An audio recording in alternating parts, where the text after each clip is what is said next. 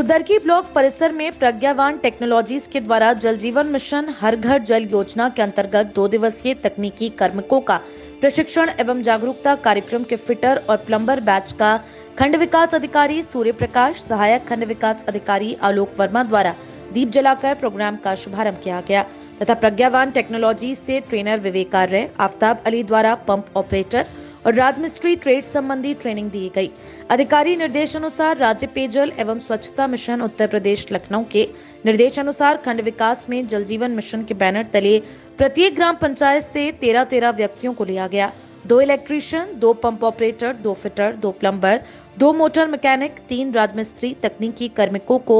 Trade संबंधित प्रशिक्षण दिया गया तथा मास्टर ट्रेनर एम के खान के द्वारा दूषित पानी से होने वाले पीलिया, कैंसर, दस्त, बुखार, रोग, कुपोषण के बचाव की जानकारी दी गई। इस अवसर पर आयोजक संस्था प्रज्ञावान टेक्नोलॉजी से state coordinator Rohit Yadav, district coordinator Shafiq Bhati, Mohammad Alim Jama और जल निगम से डिस्ट्रिक्ट मॉनिटरिंग यूनिट टीम से डिस्ट्रिक्ट कोऑर्डिनेटर रमन यादव, आफ्ताब आलम आदि लोग मौजूद रहे।